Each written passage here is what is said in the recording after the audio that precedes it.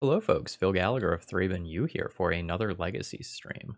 Okay, so today's video is sponsored by Sean D. And Sean donated to see a Harmonic Prodigy deck in action. And Harmonic Prodigy is a 1-3 that if you control a... Sorry, let me rephrase that. If an ability of a shaman or another wizard you control triggers, it triggers an additional time.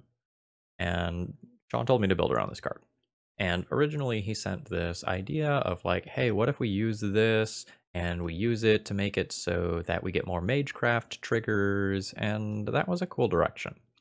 But I think it had too many moving parts, so instead I kind of like veered more towards the like tribal side of the equation with the triggers. Um, so let me show you what I put together. Um, it's it's a little nuts. So here, here is the, the card in question. And this is a human wizard, but every other card in the deck is going to be a shaman. And so my idea was, what if we just kind of like crank the triggers up to 11? Like, let's see where we can take this. So the, the card the deck is primarily built around is Rage Forger. When it enters the battlefield, put a plus one plus one counter on each other shaman you control. Okay, note to self, this is probably going to be two plus one plus one counters on every shaman. All right. And then the second ability whenever a creature you control with a plus one plus one counter attacks, you may have it deal one damage to target player or planeswalker. How about we make it two damage? So the idea here is that we combine Harmonic Prodigy with Rage Forger to one shot our opponent with one very large attack. So what's the supporting shell here? The supporting shell is Okay, I'm going to keep talking, and I realized a problem with the deck, and we're going to have to make some changes. Okay, the the supporting shell is going to be ways to tutor for Rage Forger, ways to ramp out Rage Forger uh, with Goblin Anarchomancer and Ignoble Hierarch, and then ways to either get it back or draw towards it. Supporting that shell, we are going to have uh, what could be a very absurd amount of life gain as well as collected company. Um, now, um, I just threw together this mana base for the deck, and I thought, oh, Ancient Ziggurat is the perfect card for this deck because we're a tribal deck that also wants to be able to cast a wizard. Um, but this isn't going to cast Collected Company. So hold on a second. Ahem. Much better. Um, I just subbed out the Ancient Ziggurats for four fetch lands, uh, two red ones and two green ones. That should round out the, the mana base a little bit better. Okay, um, this is the, the importance of making sure you go over your mana base and, uh, you know, make sure that it actually works for what you want it to do. Because Phil almost made a rookie mistake. But I'm too good for that. Nah, JK, I make mistakes in deck building all the time.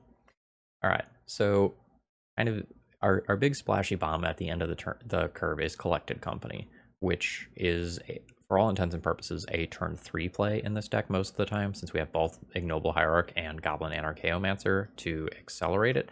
So like that's that's what's going on there with this card. Like playing a four drop that doesn't win the the game on the spot is a little questionable in Legacy. This is a three drop, which hopefully usually ends the game with Rage Forger. Fingers crossed. As far as the sideboard, we get to do something really cute. The Reclamation Sage is a perfectly respectable and playable legacy card, and we get to double up on the triggers because this is indeed a shaman. So if we get paired against, you know, an Urza Saga deck, uh, an affinity deck of some kind, uh, we're going to get to do some pretty cute things there. Um, otherwise, we're leaving our interaction in the sideboard. So we have Lightning Bolt to bring in versus the fair decks, and Thorn of Amethyst to bring in versus the sort of like unfair spell-based decks, and Leyline for the graveyard decks. It's very straightforward sideboard. Um, I want to talk about a deck building philosophy thing here. So normally, when you're playing a legacy deck, you need to interact with the opponent, and if you don't interact with the opponent, you're frequently just going to lose to what they are doing. I have intentionally chosen not to interact with my opponent in game one and to just kind of try to do my own thing. I, I think this strategy is a bit questionable in the first place, and I think the best way to make it successful is to lean fully and commit to, you know, commit to the meme rather than try to like compensate for the weaknesses of it. So I think by just like jamming all of these creatures, which are going to be uncounterable, which are going to double up on their triggers. I think leaning into that as hard as I can is better than, say, trying to do thorns in game one or lightning bolts in game one. I, like, I'm, I'm throwing this idea out here and we're going to see if it sticks. All right, if you're new to the channel, please consider for sub please consider subscribing for legacy vintage and modern content seven days a week if you are a subscriber already, please consider throwing me a like. It's the easiest free way to support my content. If you want to check out this deck list, check out the top decked uh, deck list in the video description. And uh, let's battle. If you've got any sweet ideas, I'll be happy to see them. That information's in the video description as well. Okay, so opening hand leads on Ignoble Hierarch, and then plays a Rage Forger, and then either another Rage Forger or a collected company. Yeah, I am I am down with this. Uh, this is this is gonna be fun one way or another. I am going to have a a, a fucking hell of a time this league. what you got for me? Can you keep up with this level of spice? Uh, Wasteland. We will ignore that. Aether sure. Oh yeah, that's uh that's a great draw. That means I just get to do my Coco thing. All right, so let's fetch a mountain. There we go. And let's play a Rage Forger. it begins. I don't know exactly how fast we're going, but we're going. I, I do want to figure out like which Aether Wasteland deck my opponent is. This might tip us off but like human could be death and taxes or human. Excuse me? Pirate? I love it. Hell yeah. Hell yeah. okay. You know what else I am in love with? I am in love with the Coco. Let's go. Okay, I see. So I'm gonna get an an Elvish Visionary and an Eternal Witness here. Okay. So I am going to return the Coco to my hand. Yes. And I will draw a card. Oh, baby. That's a double Rage Forger. We are in business. Alright, so my opponent's Aether Vial ticks up. We'll see what else they have going on in their pirate deck. I didn't expect round one to be dual decks like pirates versus shamans, but here we are. So my best draw would probably just be like a harmonic prodigy. Because then I can play like harmonic prodigy, prodigy, rage forger, make my creatures giant. Okay. You've got some first strike. Okay, that's fine. okay, Burning Tree Emissary is cool. Like, that's just free. Do do I want to collected company immediately? Probably. So let's let's fetch. We can get the other basic out of the deck. Go ahead and play the Burning Tree Emissary. I will get my two mana. I will use this to Coco. Uh, I'm going to get a Goblin Anarchomancer, and the next turn I can double Rage Forger and go for a kill. And I think I'll just pick up an Elvish Visionary here. Actually, maybe an Ignoble Hierarch is totally fine. Then I can get some attacks going this turn. I am, am okay in the gas department. So I can attack with Rage Forger, the 4-4. Or I can attack with this.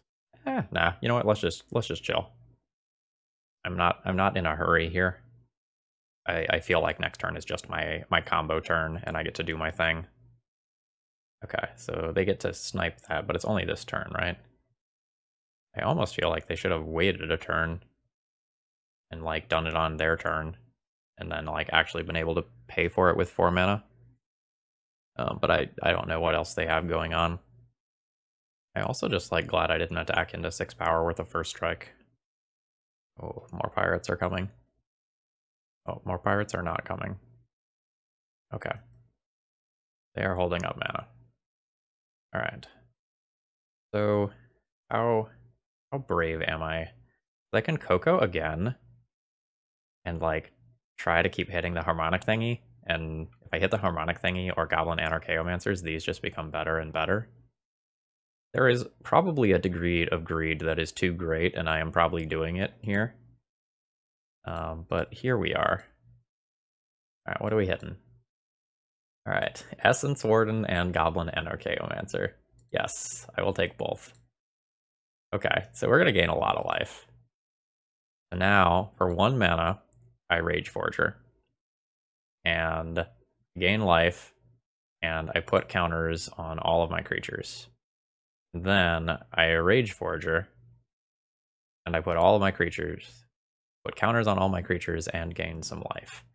And then we're going to go to combat.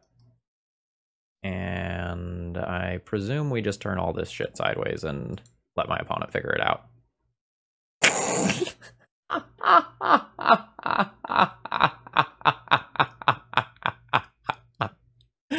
oh my god. Oh my gosh. Alright, so I assume I can always yes to these? Yes. Oh my god, the laser. I this is everything I wanted. Oh my god. so no no sideboarding? Do I do I want a lightning bolt for my opponent's pirates? The first strikers are a little annoying. I don't know. How, how big are my opponent's creatures going to be? Fuck it. Deck's perfect. Why change anything? Like, I basically only saw Harmonic Prodigy from my opponent, so it's really hard for me to say, like, how much I should be sideboarding, if anything. Like, it's possible I want one Rec Sage in there to destroy Aether Vials or whatever, and, like, my opponent apparently has Ancient Tombs as well. Um, but until I get more information, I think I'm just going to continue to rock my primary game plan of, like, get a bunch of creatures all over the board and uh, hope it kills my opponent somehow. Okay, I'm not sure about this hand. Like, this can tutor for the Rage Forger. Um, but I kind of feel like this hand is weak. I'm gonna mulligan this. Um, this hand is very good in terms of the cards that are here, but is lacking in mana. Um, let's hope the 5 is better. Oh, this is a very good 5-card hand. Um, I am... Uh, presumably not ready for the Coco. And I think my curve is one, two, three. And so I'll throw back the Goblin Anarchomancer. I get to start on two different basic lands. Alright, what do you have off your basic? Oh. Okay, so I want the Lightning Bolts next game. Honestly, it should have occurred to me that Ragavan was a pirate. Like, of course that's going to be what's central to my opponent's deck. We're to get basics this game because I know my opponent has Wasteland. Okay. Oh. That's a good pirate. Ah. Oh, oh. This is the wildest game of Legacy that I've played in a while. I have so much respect for what my opponent is doing. Oh, they can get my Goblin Anarchomancer. Hmm. So the good news is I'm going to have a 1-3. the bad news is like double strike might get real weird. Um, let's get a mountain here. And let's do the harmonic prodigy thing.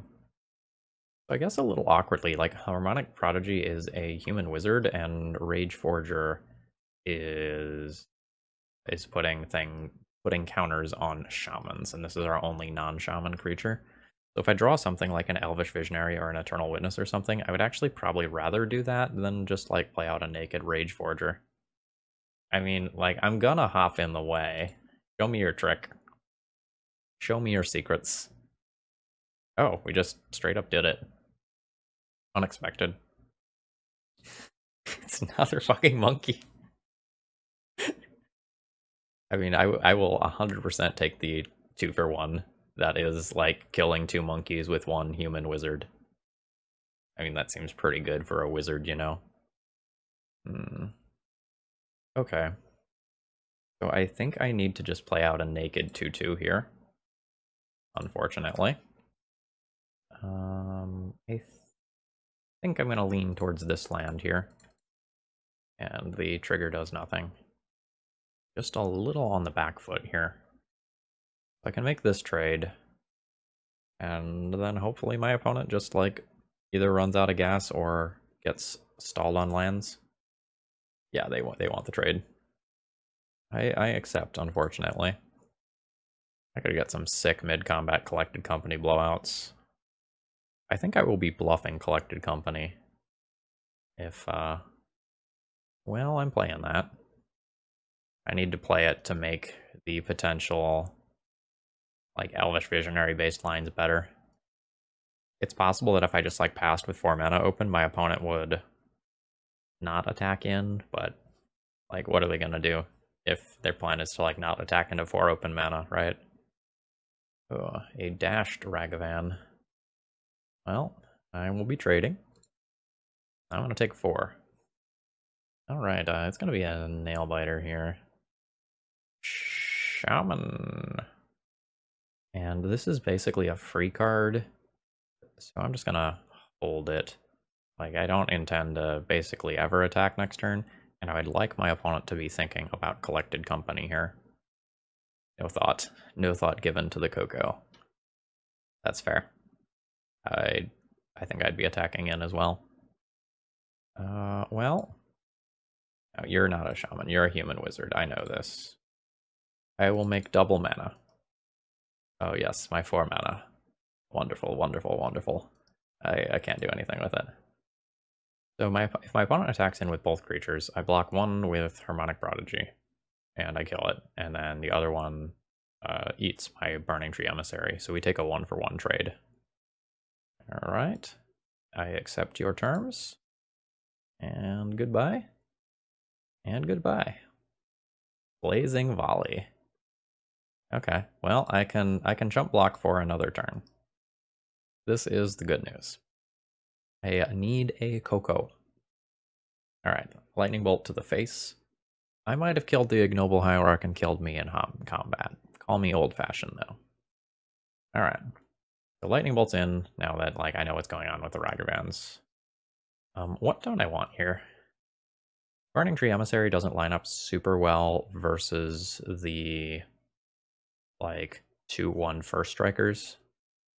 You have power and toughness? You do. You, so you trade with Ragavan. Alright. I think I want to cut two of these. All of them, maybe? I just got all of them. Makes me a little lighter on hits for Coco. Um, but I think that's probably fine at the end of the day. Okay, I will be keeping this hand. Um, I put this on Shaman. It lets me cast um, both of my early spells. Shaman! Now let's get this Essence Warden out there ASAP. And then on turn two, I will probably Lightning Bolt a one drop and play Flamekin Harbinger if my opponent plays one. And if they don't play one, I'll just ram out Harmonic Prodigy and start going to town that way. All right. Pirate. Into Aether. Sure. Don't mind having multiple lightning bolts.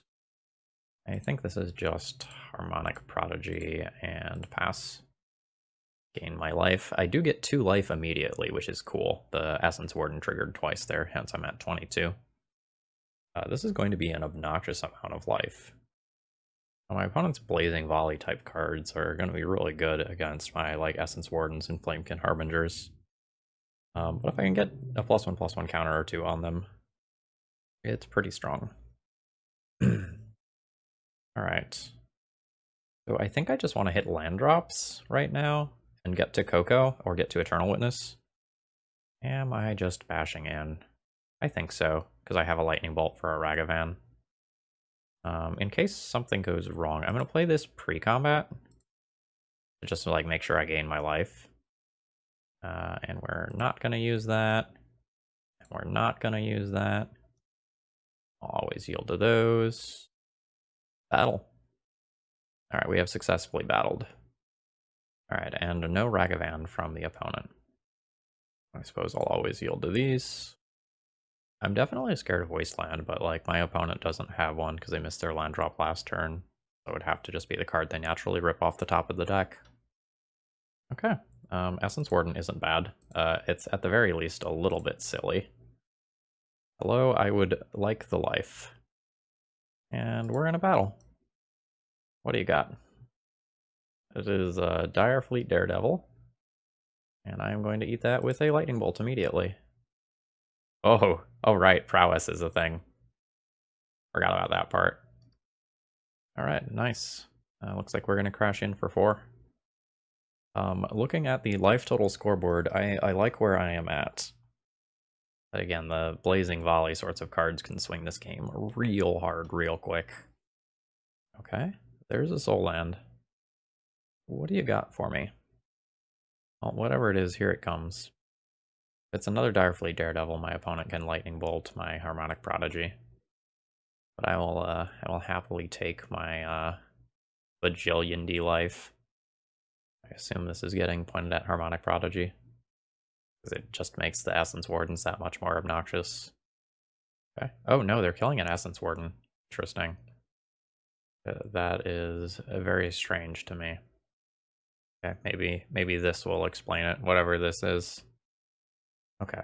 When it attacks, create a treasure token. Whenever you sacrifice a treasure, it gets bigger. Word. And in comes the pirate. I think I can afford to take the hit. Uh, Alright, I'll go down to 34. So they need the mana, which is why they couldn't do that in combat. Oh, there's a Blazing Volley. Okay. Alright. Is this one it attacks? It is one it attacks. I'm always doing this. This will give me double Eternal Witness, which is sick. Question is like, do I want to get rid of the pirate that accelerates the mana, or do I want to get rid of their first striker? I think I want to get rid of this. I guess I could have done that in combat as a combat trick. Oh, my opponent wouldn't have blocked anyway. So, like, I was going to have Exalt. oh shit, these trigger twice too. This deck's great. What a what a power swing. Hmm. Maybe I should have played that out in a way that allowed my opponent to like double. No, the other one was tapped. It couldn't have set up for a double block situation. All right, we have another captain. We have another captain. I have played the captain before in Legacy. I played exactly one Red Prison League with it. Ooh. We have another, uh... Okay, I roughly remember what this does. So when it attacks, if the defending player has more cards in hand than you, exile the top card of the library. During any turn you attack with a rogue, you may cast that card. Okay, cool. I, I love the flavor of my opponent's deck.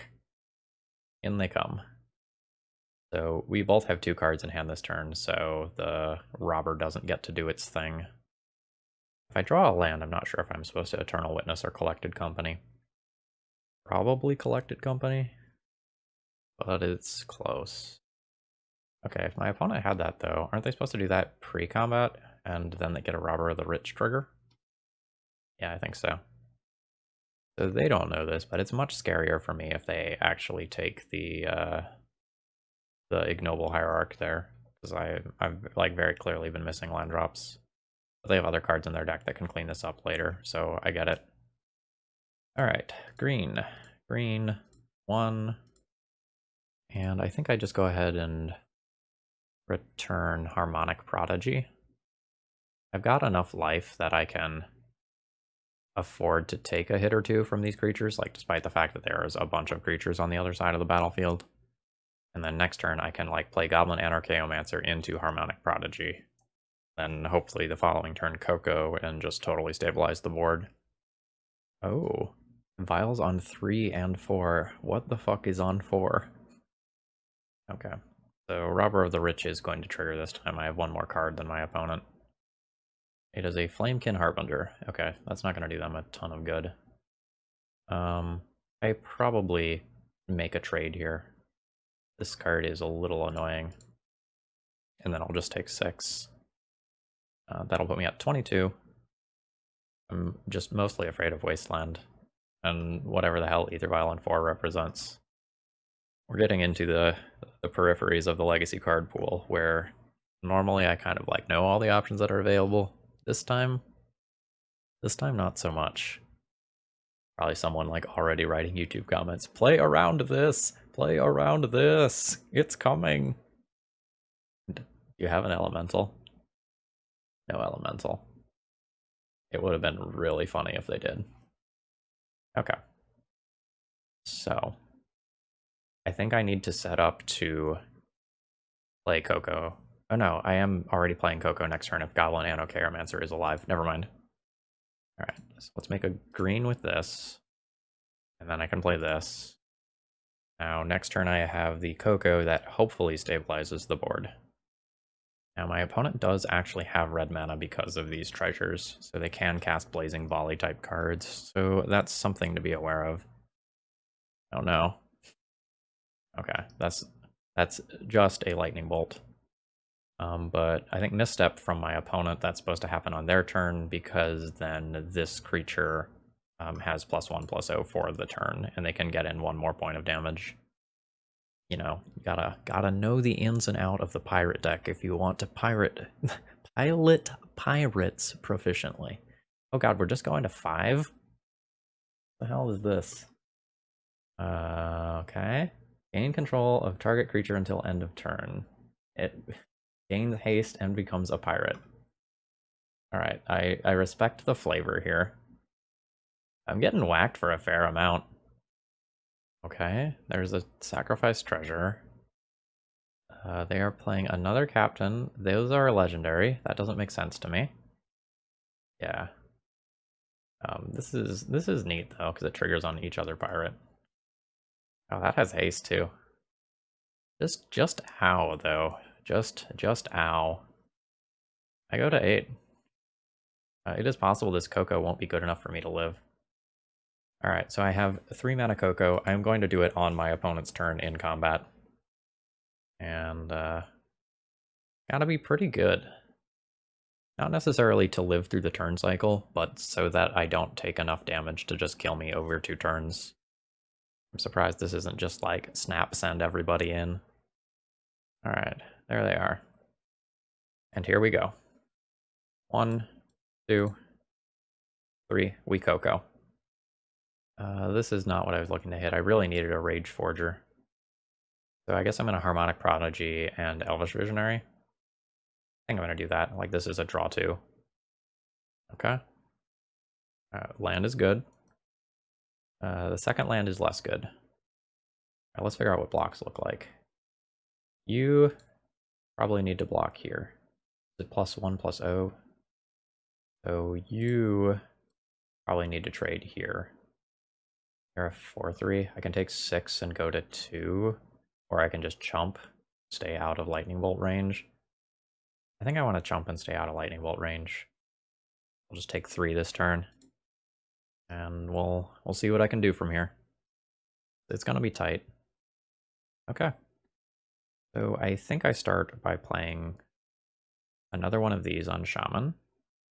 I've changed my mind on how exactly I want to sequence that do it like this. This is a draw two. Oh, Essence Warden. Essence Warden is my shit. Alright, so I will play an Essence Warden, and then I will play an Ignoble Hierarch, which gets me to life. Okay, now, now we're talking. Oh wait, is my opponent dead? This is five incoming damage. Two, four, five. Ooh, I might be able to go on the offensive here. Fuck it, let's go. I will put my opponent into lightning bolt range now. And like I don't mind chump blocking with my own critters. My opponent's gonna have to hold back some number of things. Ah. Well, well, well, well. Oh, I suppose this line does leave me dead to a blazing volley though, doesn't it? it it's exactly seven. If all my X ones die. Oh no, I hope I don't die for that. I wonder if that attack was correct. I don't know, but like that card is a four for one anyway and probably just beats me anyway. Oh, I think I like the attack. Oh, they're passing the turn. Them passing the turn is so good for me. All right. So I play a new ignoble hierarch. And that gets to put me up to nine life. Now, if I attack with this creature, how big is it? Two, four, six. Oh god, its butt is so big and I won't die immediately on the crackback. Yeah, that's fine. Actually, do I just attack with like an Elvish Visionary? Maybe I just attack with an Elvish Visionary. That already has like a butt of seven. Yeah, that's fine. Let's do that. Oh my god, this is so many shaman triggers. 7-7, yo. This is what the Flamekin Harbinger was uh was here for, I imagine. Yep. Goodbye. I've already made my line drop, right? Yep. Pass the turn. Still live in fear of Blazing Volley. But all I really need is a couple of creatures hitting play. And then I can probably just gain enough life to time out my opponent as well. I, I don't expect to win on the timeout angle. Like, I think one of us will die before that happens, but just throwing it out there, my opponent is really far behind on clock. Okay, that, uh, that land is probably not helping. Okay, double strike, sure. You don't have trample, right? Yeah, you don't have trample. I mean, I will 100% chump block that. No chances. Okay, this is this is not what I'm looking for here. Um, I think I will just repeat the attack of last... So my opponent attacked in. I don't know that I'm supposed to go for lethal here. If I go for lethal and I'm wrong, it's so bad for me. I'm just gonna continue to attack with one creature.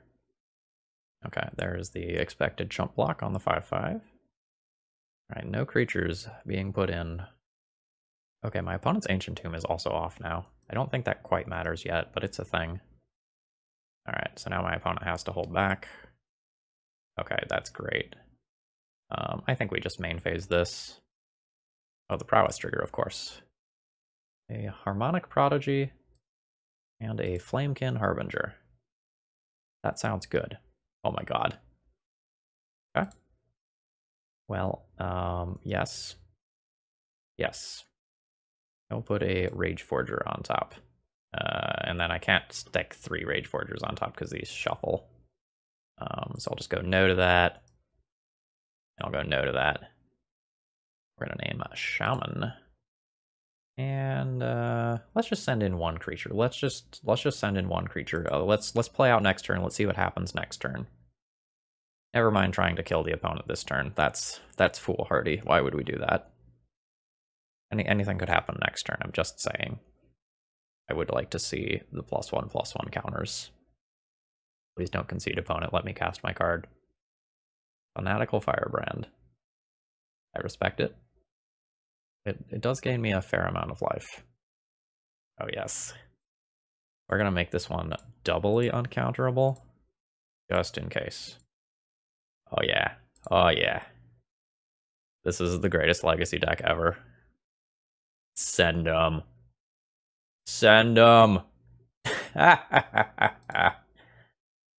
and save targets, you. Uh, always yes.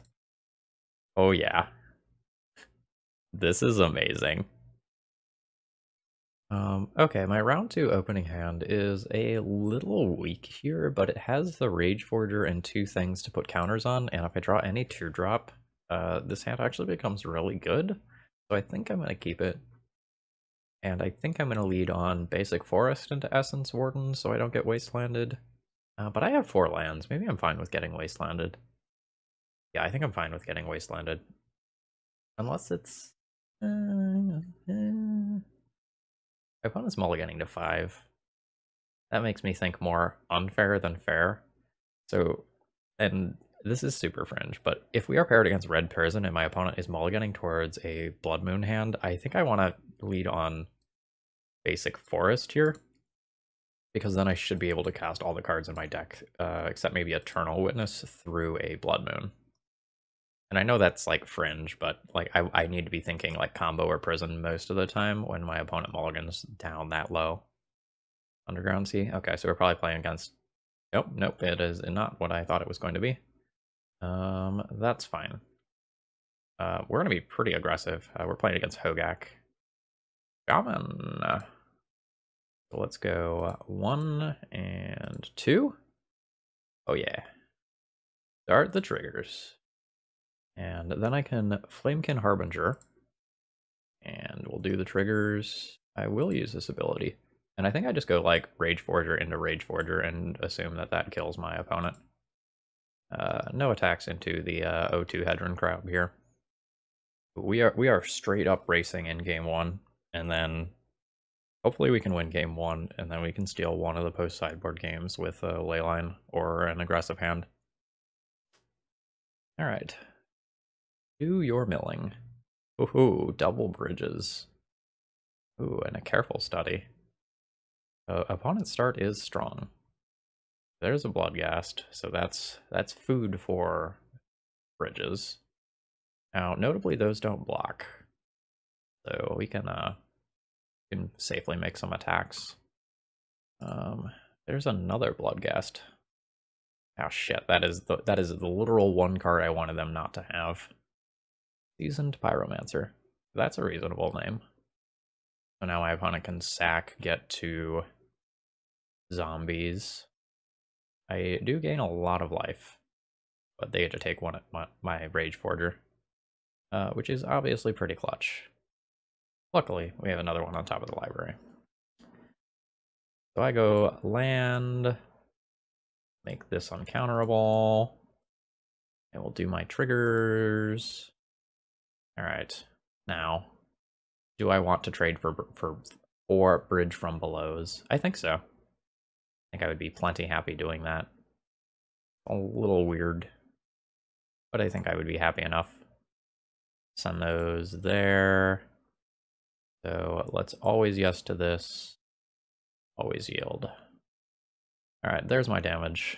What are you gonna do? Okay, they're just they're just gonna take it. I'm a little surprised not to see a block on the Hedron Crab there to convert it into zombies. But like if they have another fetch land, it's probably totally fine to not do that. Give me life. Give me life. Ooh, a Vengevine and a Gravecrawler. Alright, things are getting interesting. Uh, not that they weren't already. Oh no. Uh, I might combo die this turn. Like, it's very possible. Like, my opponent just needs to find a Hogaak. The good news is that I am not likely to just immediately die to combat damage, or even die to combat damage in the short term. Uh-oh. Yeah, that's a Hogaak. I am going to assume that with two Bridge from Belows and this many zombies in play, plus a Vengevine, that I am deterministically dead. I don't know the math well enough. Um, but I think I am dead. And at some point my opponent is just going to point those at me. Yeah, I'm pretty sure this is just deterministic dead for me. Yeah, with a third bridge from below, that's just like Hogaak coming back plus like yeah, I think I think this is it. So I think as soon as the first one of these targets me, I just concede. But I get to see more of my opponent's deck here by just waiting a second. See if they have anything spicy. Oh, okay, they started doing it at me. Alright, in that case, I will concede. They they they know the math. Whereas I don't. Alright. Uh, we really wanted to win game one, but so it goes. Uh, I think Burning Tree Emissary is probably the most cuttable of the things here. So that's my subs for the ley lines, and now it's the question of like, do I want Reclamation Sage? I probably want one in here. Like I, I think just making it so that I have access to that effect if a game goes very long is probably a good idea. But I don't know that I want more than this. It's like it's it's very, very, very specifically for one card. Okay, so this opening hand is both slow and doesn't have a ley line. How is this opening hand? So I would throw back the Flamekin Harbinger with this hand. And I would play Harmonic Prodigy on turn 2, Turn 3 Rec Sage, which may or may not do anything, and turn 4 Coco. I think I can do better. Oh god. Alright. Do I keep the 4 card hand, or do I start going for Leyline? I don't, I don't think this hand wins the game most of the time. This hand I think has a real chance. I'm going to keep this. I get 4 of these. Probably these 4, although Essence Warden is also intriguing. The issue with the Coco is that I don't have the hard green mana to cast it. So maybe that means it's not Go Goblin Anarchomancer and instead it's Ignoble Hierarch. Alright. Uh, this is this is not what I am looking to do. That's okay. Um, but like, I have a real chance back in this game with Coco. Um, this is not as good as some of the other hands that I threw back, but you know, hopefully we get somewhere. Alright, I mean, that just does mean I get to cast it next turn. Alright, do your thing. See how bad it is. Uh, Bridge from Below and Gravecrawler. Oh, no land? Oh, no land is great for me. Oh my god. Oh my god. I think I just main phase this. We hit one thing off of Coco. That's, uh, that's a little disappointing. I mean, thankfully we drew a second one. Um, but that's, that's rough. Okay. Uh, that wasn't too bad. Like, if my opponent still doesn't have land, like, I am, I am just good to go. All right. All right. Come on, Coco. I need you to do the thing. Uh, yeah, that, that counts. That's fine. Essence Warden and Flamekin Harbinger. Put these on the stack. I will use this ability, yes. It will get Rage Forger. I'll not use that ability, and then I'll always yield to these. I'm not sure if I'm supposed to attack in. Um, but I guess I'm killing my opponent via damage. I don't know, maybe I try to just do an attack with Rage Forger next turn and not fuel their graveyard this turn. Like it's only it's only four damage. Yeah, let's let's wait a turn. Like opponent's kind of stuck, and if I can keep them stuck, that's good for me. Um, things can definitely get weird now, though. Uh, there's another bridge. There's a Vengevine. God, if they have Hogaak, their turn is so good. Look. Alright, there's the Hogaak, which returns the Vengevine, and it gets to leave their three best cards in graveyard. Uh, that is, that is scary. So I can go ahead and do this, because then that makes this cost two mana. Alright. I get two sets of plus one plus one counters. Alright, so if I attack with these two creatures, I do a little bit of direct damage, and then I just take so much on the splashback.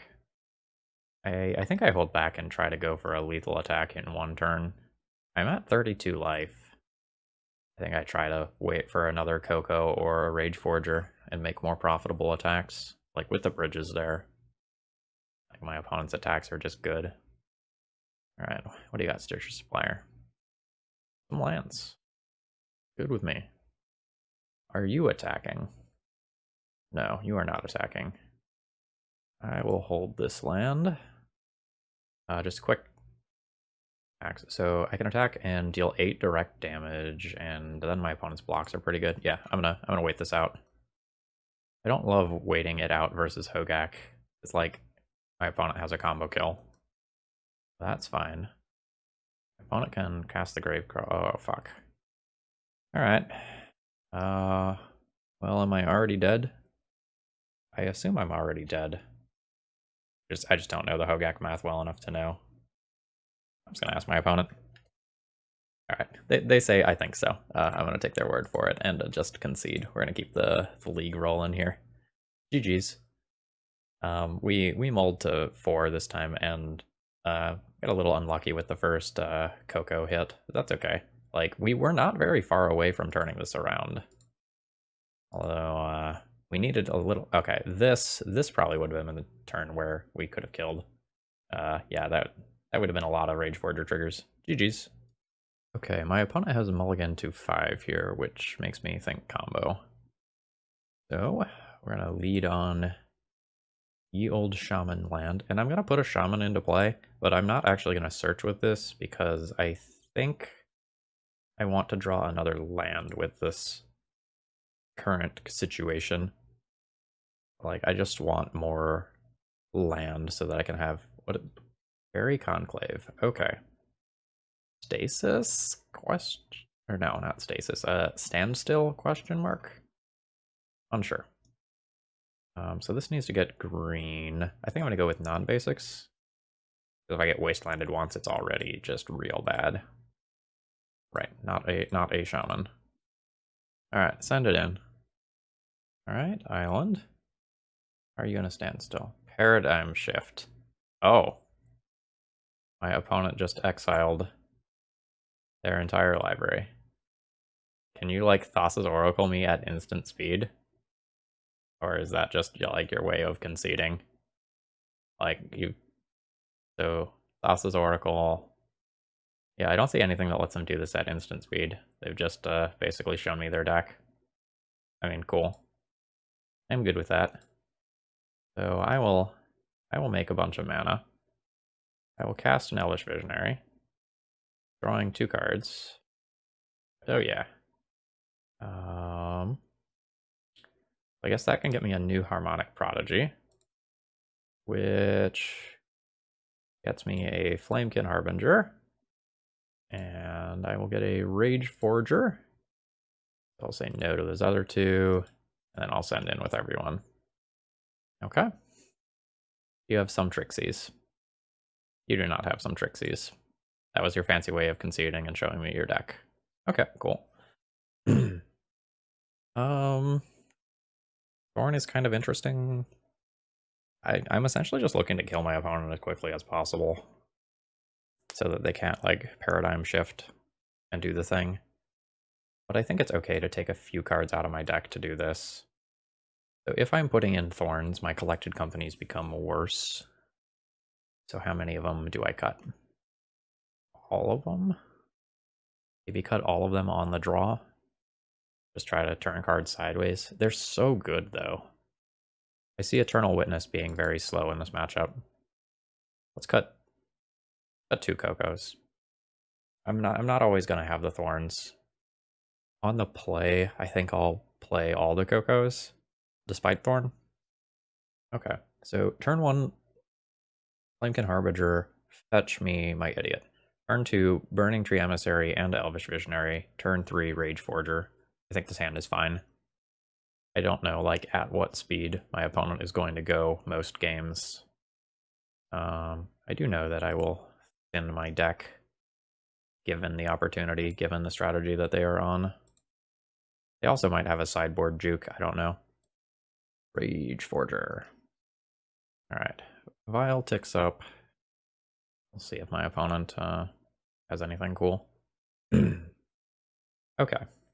So, Burning Tree Emissary. Yes. Into Elvish Visionary. Yes. Into attack for a mighty one damage.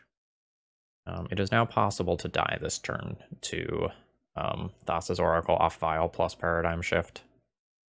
Uh, if we do die, we get to see my opponent's post sideboard configuration, which is cool. And if we don't die, I am going to try to hurt my opponent a lot. Oop, looks like not dead. I like not dead. Okay, do I actually goldfish faster if I just play three spells this turn? Probably. It's just more triggers next turn. It means that I miss out on a considerable amount of damage in the short term, but it's like uh, much better in the long term. Like be putting counters on three more creatures that all get to attack. Yeah, I think I've talked myself into that. Okay, Tap. Sure. You can tap down my 2-2 so it doesn't attack this turn. That's fine. Okay. More of those? Okay. Yeah, that's that's all fine.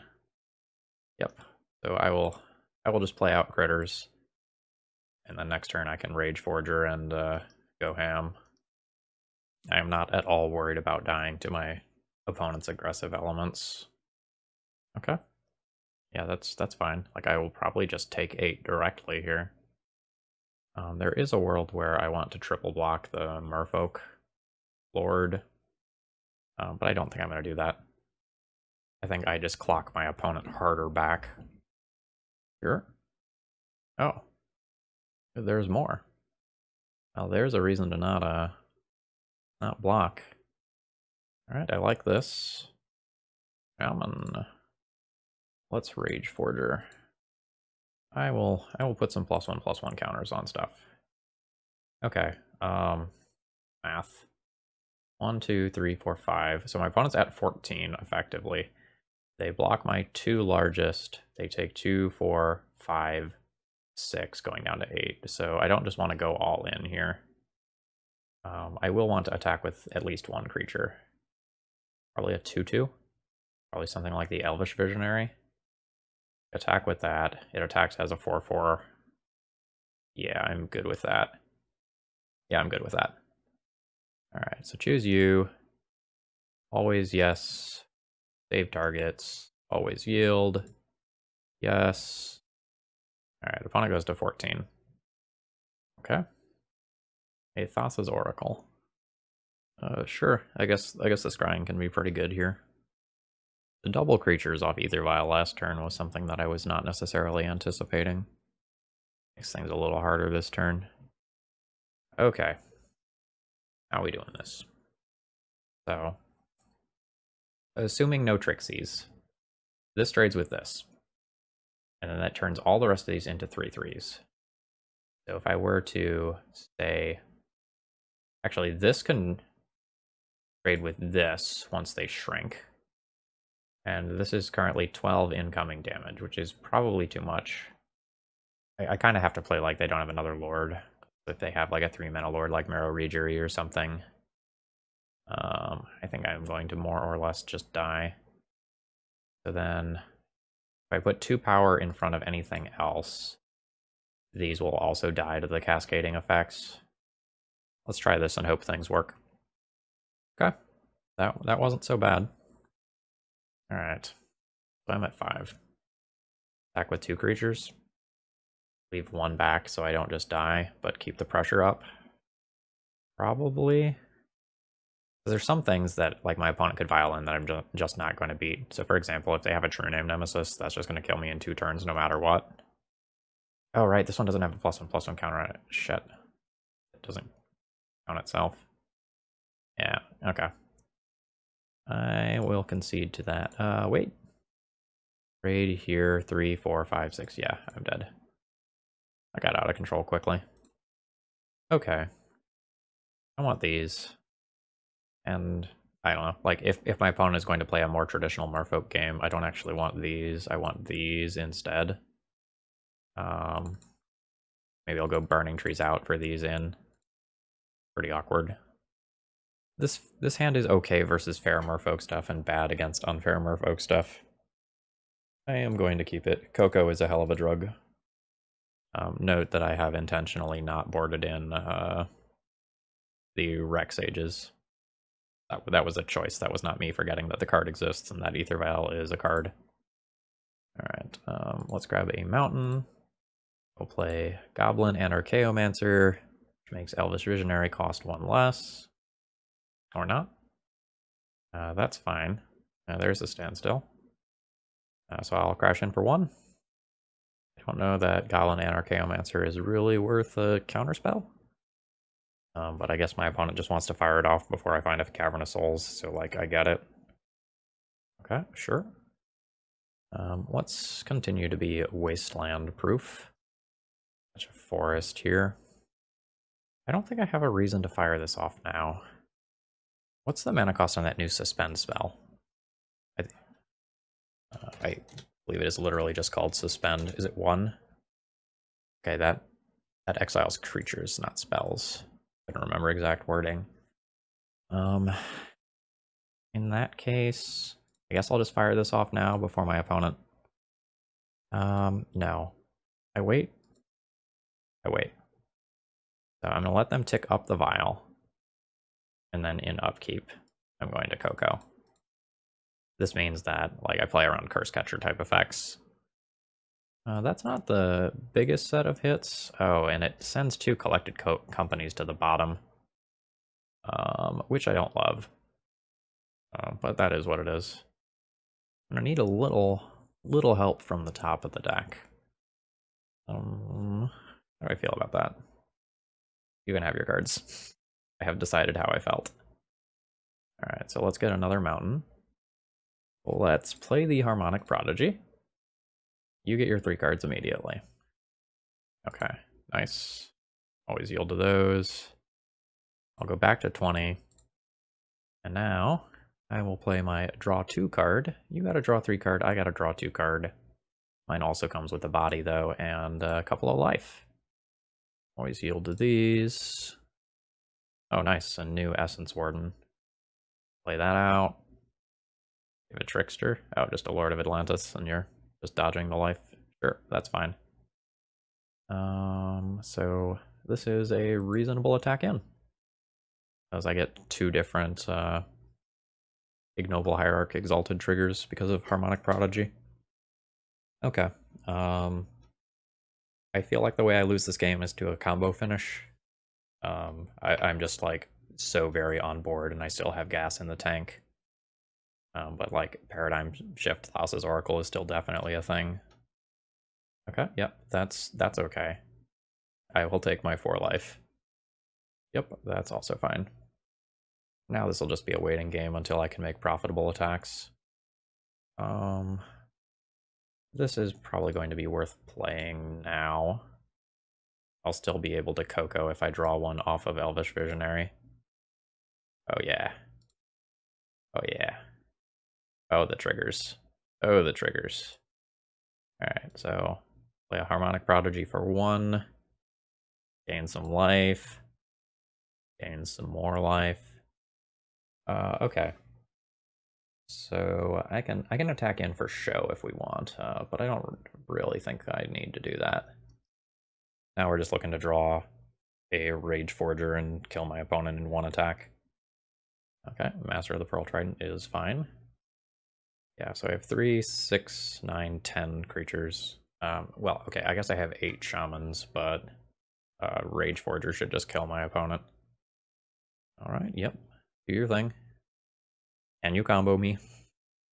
Okay, just passing the turn. Oh, there we go. All right, uh, do you have a counterspell? Okay, so the Rage Forger things trigger three times. Uh, let's always yield to those. And I feel pretty confident that uh, I can just attack all here and it'll uh, work out well for me. Thanks. All right, so let's save targets, target you, and there they go. Oh, I need to hit always yes. Yes. I have done it again. GG's. This deck is really fun. All right, uh, opening hand here is pretty strong. I get to lead on a couple of basics and go for an early collected company. Right, Forest, Ignoble Hierarch, pass. Uh, and you know, come to think of it, we're gonna look kind of like a like a red green food chain, like goblin food chain list in a lot of matches. Um, that wasn't something that had like occurred to me immediately, but uh, it's definitely true. Okay, so I guess I'm gonna play my creature pre-combat. Um, like Daze is a card that exists in this format. It's not super common for Prismatic Vista to lead into Daze, but you know, gotta be cognizant of it. Oh, we are getting a Force of Will.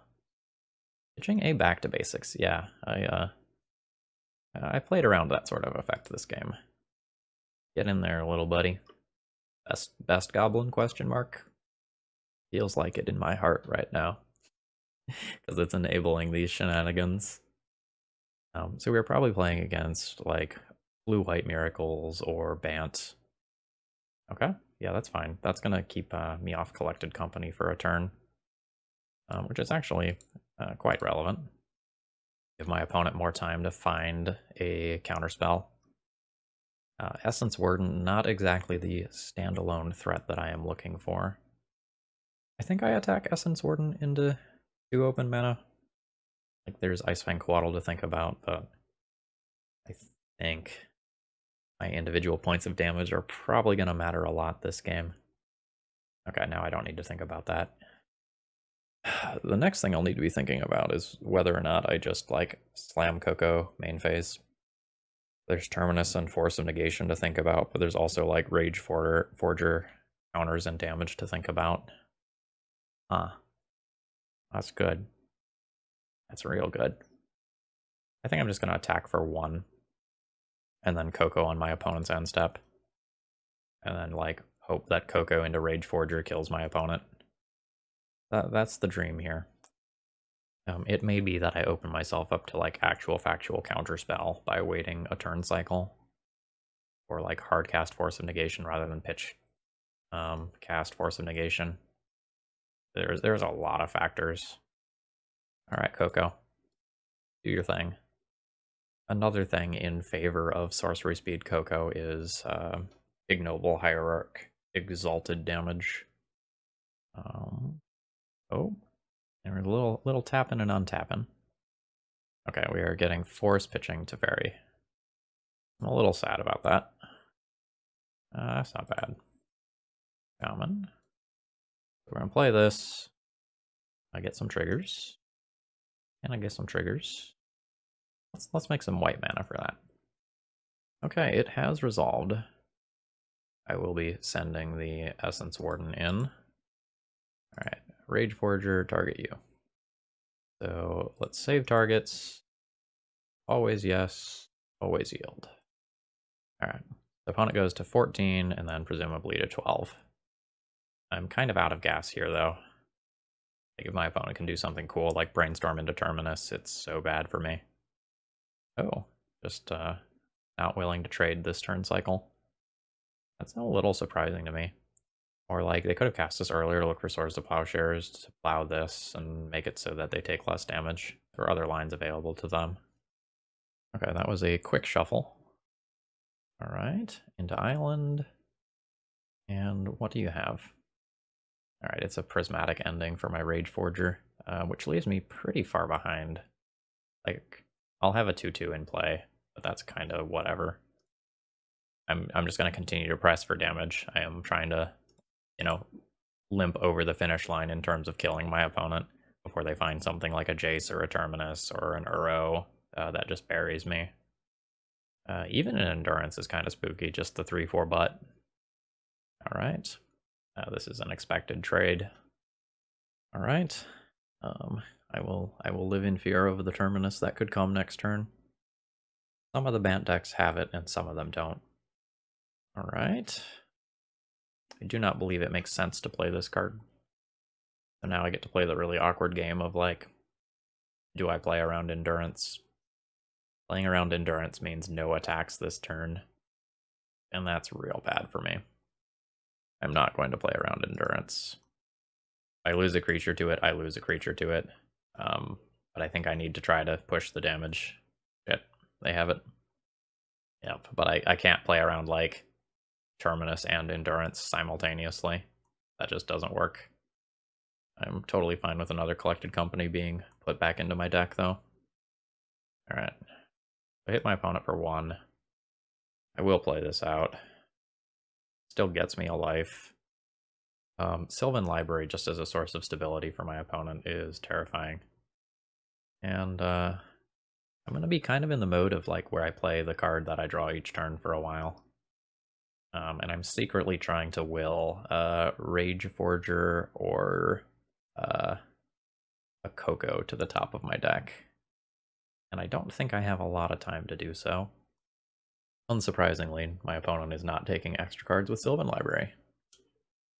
I think their Sylvan Library was a little weak there, because they just, uh, like, did not take any life there.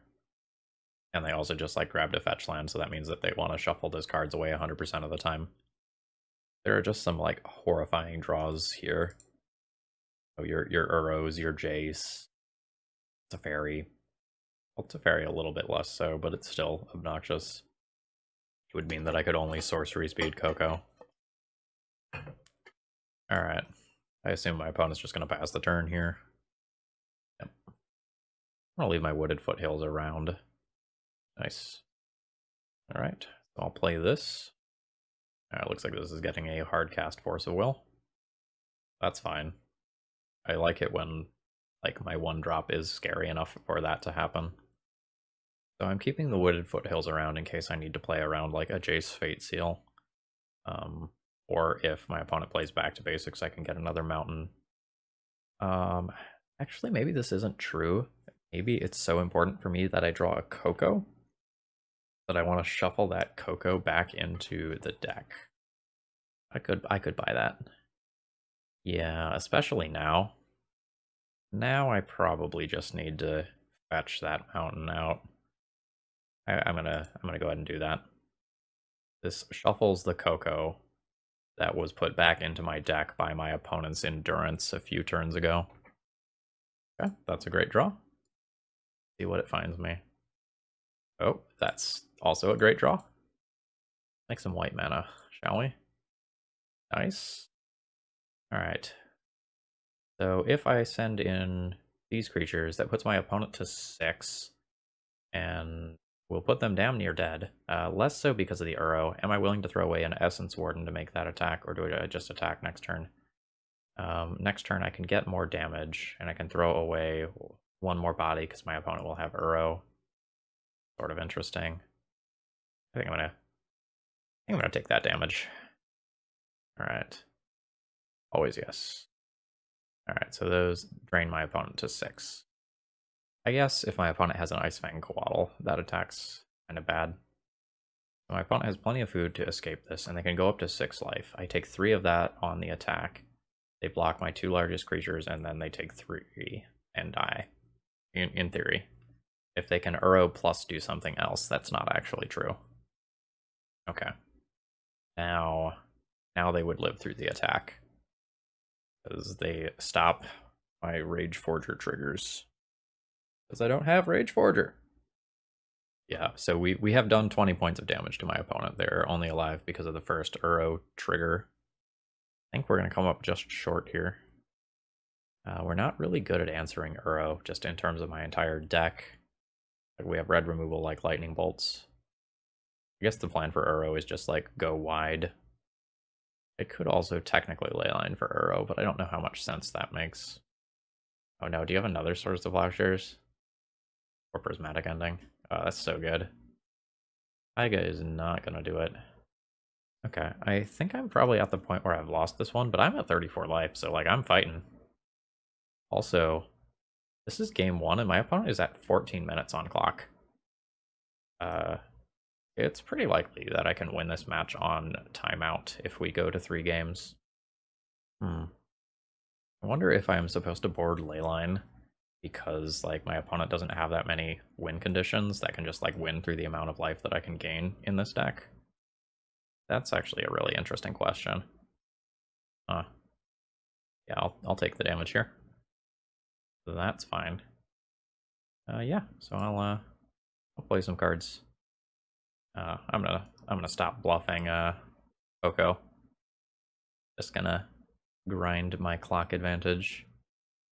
Ooh, opponent has a volcanic island, uh, which I presume is specifically for a fourth color for prismatic ending. I'm going to record with a Boros deck shortly that has prismatic ending in it, and I was considering playing like one volcanic island for exactly that same reason. Alright, in comes the Uro. Ooh, and the Endurance. Oh, not the Endurance. I'm gonna say that's that's brave. I can I can do a lot of damage if I get a Rage Forger into play. Alright, I go to 22. I'm just gonna play out my creatures every turn. Feeling uh less and less like I have to play around Terminus. Yep, give me that life. Keep me alive. Although I guess the Ice Fang Coatl is going to offset the uh, the life it gains every turn cycle. Alright, looks like we have two different creatures coming in now. Um, I want to block a bunch of creatures on Endurance, maybe. I don't really want to lose the Essence Warden, but I think I'm just going to throw everything in front of this Endurance and go from there. Just like taking that out of play is so much life gained over time. Like my opponent can take a Burning Tree and an Essence Warden out, I'm good with that. Okay, they have chosen the Elvish Visionary, which is actually smart because I think that one has a plus one plus one counter on it. So that is the uh, the correct line. That difference is very relevant. Uh, tradesies? I think tradesies. This is a lightning bolt worth of damage or a trade for an Ice Fang Coatl, unless my opponent has another endurance. Damn it! Oh, they have targeted themselves put all their fancy removal spells back in their deck. I don't really mind attacking with the Burning Tree Emissary there, though. Like, if they have the Endurance, I have the Endurance, but the 2-2 isn't really doing me much right now anyway.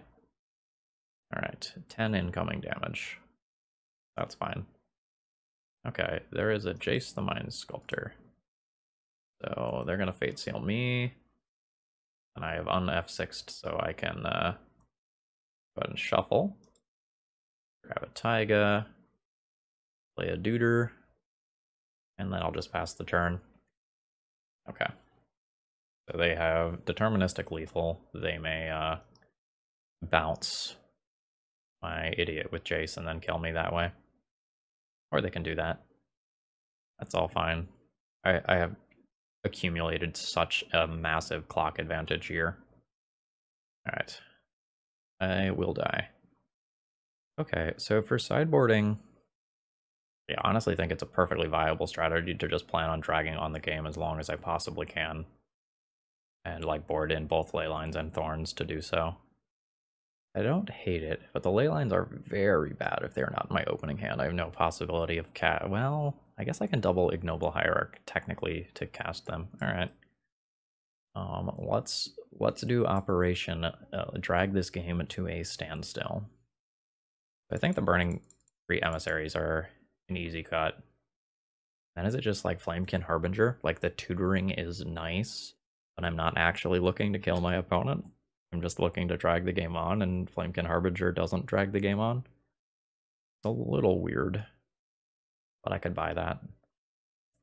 This still leaves me with 26 creatures, which I think is okay for collected company. It's not it's not nearly as good as like my game one percentage, but I think it will be good enough. Let's submit this. Okay, this is just an opening hand that cantrips a bunch of times. I think that's fine. Land go. Okay, you have a land, a ponder. I'm probably just gonna fetch a forest and thin out my deck by one here. Okay, uh, this is fantastic. Um, so let's go you and you. And then that can set me up for a very strong turn next turn. All right, maybe a Prismatic Vista, or not Prismatic Vista, Prismatic Ending on my creature. Nope, Swords to Plowshares. Oh, this is insane. Shaman. So, uh, go green, red. We'll leave open green, and that way I can hit an Ignoble Hierarch and play it. Oh, nope, that's a, that's a Leyline of the Void. Okay. What do you have? You have an Uro. That's pretty good, and it's pretty early in the game as well, uh, which is the sort of thing they need to close out the game. Thank you, Leyline. Very cool. All right, let's play one of these. All right, draw my card. Oh, Thorn. I love Thorn here. Uh, it's not as early as I would like it, but it's still quite good. Um, I think I am going to go ahead and grab Forest here. Again, just in respect of back to basics. Okay, Force of Negation. So that's one, two, three, four, five. Uh, but Plains does not work towards casting Uro. Um, that does. That's unfortunate. Okay, there's a Tundra. So my opponent does have the blue, blue, green, green for Uro. Um, so I guess the hope is that I can force them into not attacking. I can't really take that card out of play. Uh, that's nuts. Alright, I'll play this. It is counterable, because it is not a shaman. Alright, cool. This, however, is a shaman. This will just get me... Okay, it's a swords. That's fine. I'll chill here. So I technically could set up like a triple block situation against this Uro, um, but I think that's just like walking fully into a blowout, um, so I'm not going to do that. No blocks. Okay, so now it becomes a question of like, am I going to attack into endurance? I do not think I am. I think it's just like so so detrimental for me to walk into endurance here uh, that I just like can't do it. I'm gonna pass the turn. And this is what's like just terrifying about these blue decks right now is like they get a huge advantage if if you play scared of endurance because you know it's good against you. So even when they don't have it, endurance is still good against you. It is frustrating. Alright. Opponent gets a land. I take six more. Alright. See what we can make of this turn. You're uncounterable. Uh not the land I'm looking for. I still don't think I can attack. Like, if my opponent has endurance, do they even play it? Like, if I'm playing around it, they probably don't, right? because then it incentivizes me to attack the next turn and like lose out. All right, so I think this is where I start chump blocking Uro. I think the clock is my primary angle of winning now. That's good. Name human with that. And I'm not going to play this yet. Okay, there's an Ice Fang. That means I can take some damage on the ground even if I start chump blocking the Uro every turn. I've already used a handful of Elvish Visionaries though, so like one of the easiest ways for me to gas up is just like Harmonic Prodigy plus Elvish Visionary, and I can't actually just do that. Alright, I will chump. Okay, that's very good. Alright, so you are uncounterable. And now, let's go to my opponent's upkeep maybe. This is actually a pretty good time just like do it in response to that brainstorm so they can't look for a counter spell if they don't have one already. Do it here. Containment Priest. What a tilt. Um, I guess I take these cards out of my deck. The Essence Warden there would have uh, been nice in terms of life gain. Um, but I think short of ripping another Coco. Uh, no, like, the Containment Priest is in play. Coco is just not good enough. Yeah, I think our opponent is just going to win this game in like two minutes because they got just turn four Uro. They la vie. The curse of the ley line, right? Board in the ley line because it's theoretically important in the matchup. Keep a reasonable hand. Draw three fucking ley lines anyway. Alright. GG's.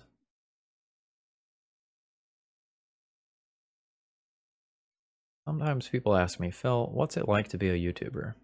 And I respond, well, it kind of turns your brain to mush because like I've had this head these headphones on all league and like my magic online is muted, so why have I been wearing headphones?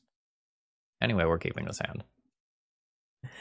Um, we've got a hand that goes Burning Tree Emissary into Elvish Visionary on turn two, and then plays a Rage Forger.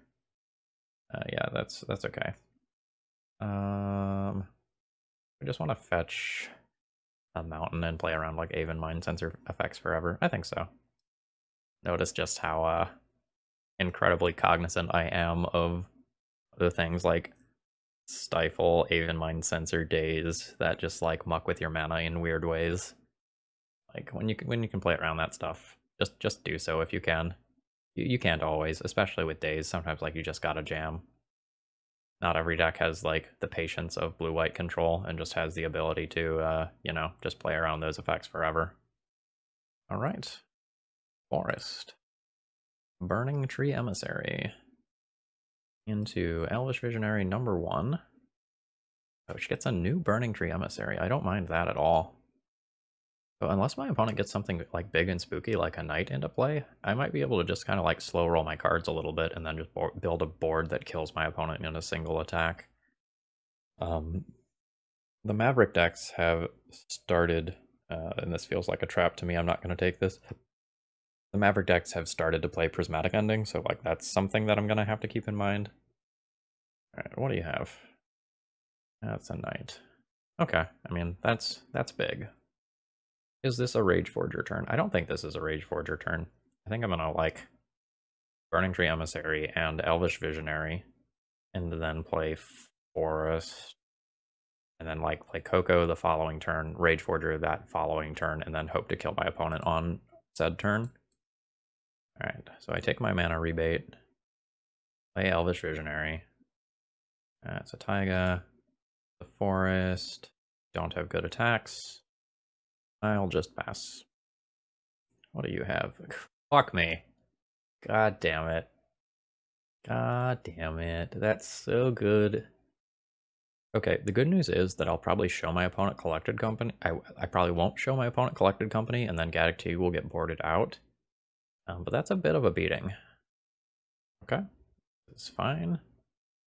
So now, now the long game begins. Um, notably, if my opponent has a uh, a Dark Depths package in their Maverick deck, things get a little spooky because like I can just be put under a lot of aerial pressure that otherwise I wouldn't need to worry about. I think we're gonna stare at each other for a while. All right. Operation Grow the Team begins. My opponent's pausing here, which makes me think they have Swords to Plowshares. Nope. Well, I mean, they still could have it. If they let me go to combat, they don't have it. Yeah. Um, we'll just chill. I think I just want to drag on this game.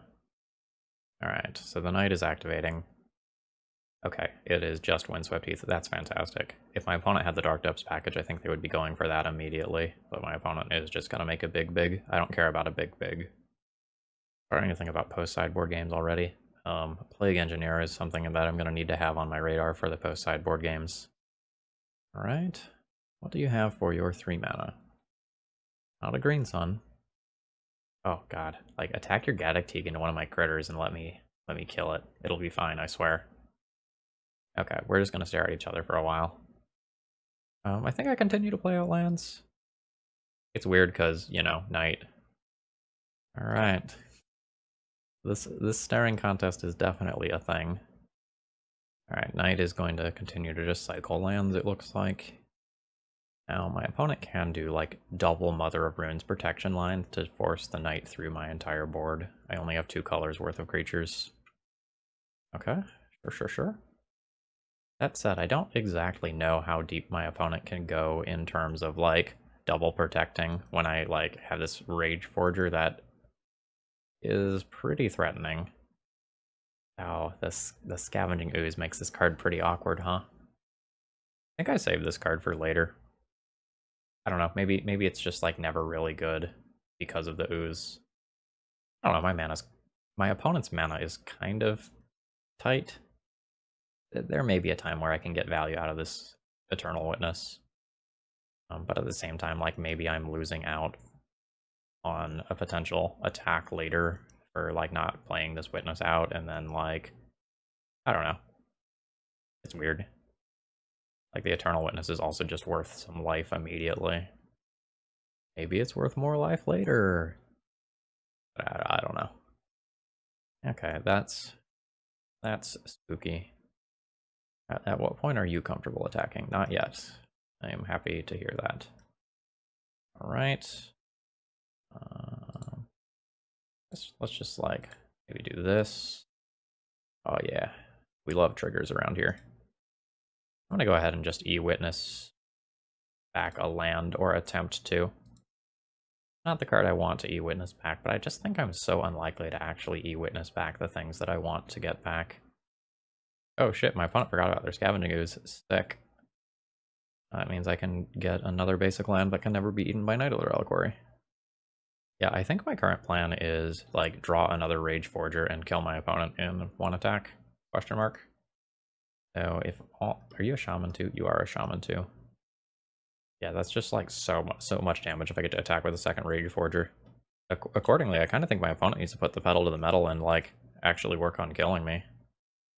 Okay, that's good. That, that makes a lethal attacks in one turn slightly harder. Okay, so pro green here gets through all of my creatures now.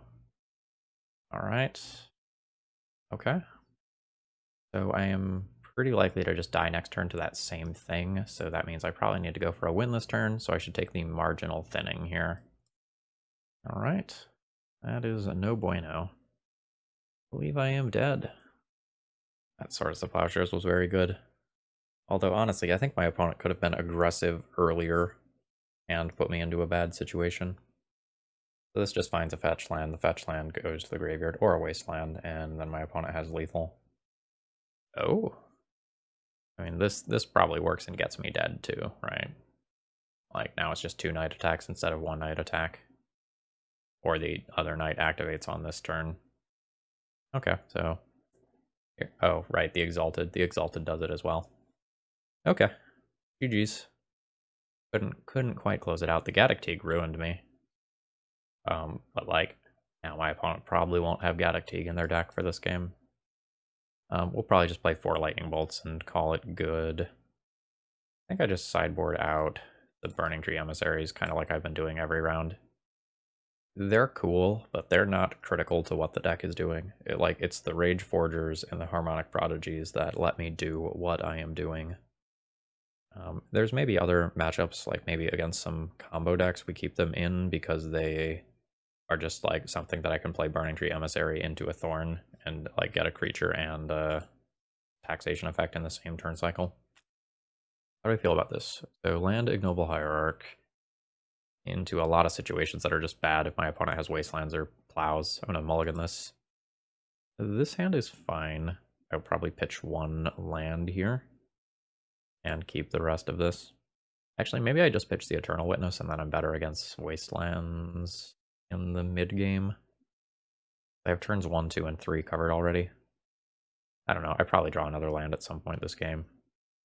But no, let's let's throw back the cavern. I don't have to worry about uh counters here. Let's get basics to start off the game. So this will just be a mountain. And then we'll Harbinger. And this will get us the Rage Forger. All right, library. Like you gotta you gotta not be under the stack. This is this is annoying. You go over here. Get you. Pass. All right. Any turn one play? No turn one play. Oh. Going in the second main phase. Flamekin Harbinger has suddenly become threatening. That's a prismatic ending. Yep, that's that's fine with me.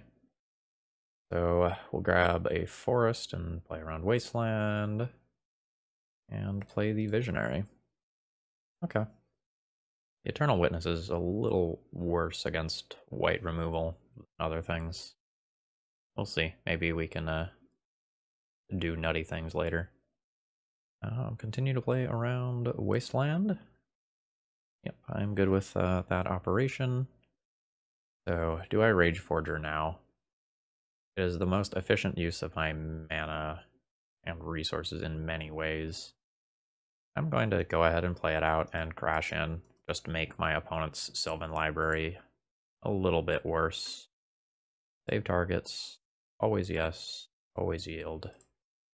And then like maybe we can trade the Rage Forger in combat at some point and bring it back. Or if my opponent spends, you know, two mana on a prismatic ending to answer that, like I still get to crash in for three damage next turn, rebuy a fetch land. Okay. That is not the end of the world for me. That's very good for them. Not the end of the world. Um, although it does mean that the rest of my hand is junk. Now I can't attack in with the Exalted trigger. That's that's unfortunate. Um, yeah, so even though that didn't kill any creatures, that invalidated two cards in my hand um, and stalls me out. That's unfortunate. It also means that a lot of my potential top decks are just bad. Um, hopefully I find a lightning bolt to answer that. Got four of those. Um, hmm. Yeah, how how bad is this?